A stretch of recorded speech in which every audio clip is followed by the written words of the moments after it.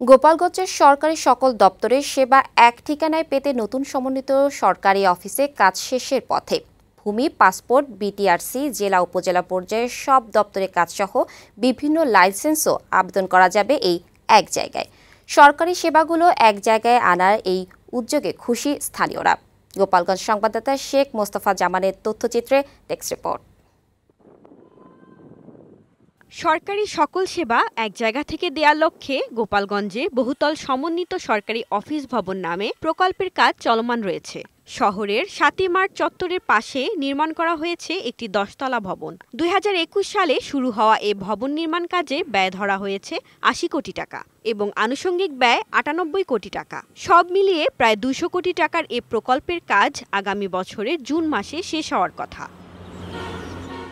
সরকারি বিভিন্ন মন্ত্রণালয়ের দপ্তর থেকে শুরু করে আঞ্চলিক পর্যায়ের বিভাগীয় জেলা ও উপজেলা পর্যায় পর্যন্ত সরকারি অফিসগুলোর নানা সেবা পাওয়া যাবে এখানে। এছাড়া একটি ওয়েব ঠিকানায় একবার নিবন্ধন করেই অনলাইনে সব সরকারি সেবার আবেদন ও সেবা গ্রহণ করতে পারবে নাগরিকরা। এর ফলে কম সময় ও খরচে সর্বোচ্চ মানের সেবা মিলবে।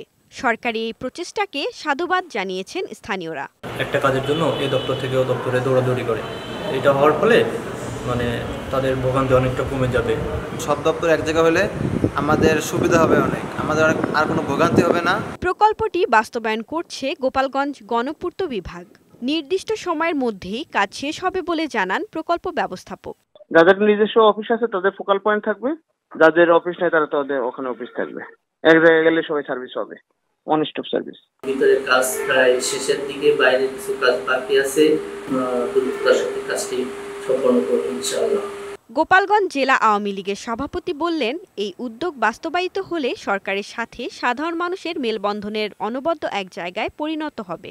সকল মানুষ যখন একটা মানুষ তার কাজে আসবে একই অফিস থেকে একাধিক তারা সেবা পেলে গোপালগঞ্জের মানুষের সেই দুর্গদিনের এই দুর্দশা থেকে লাঘব হবে।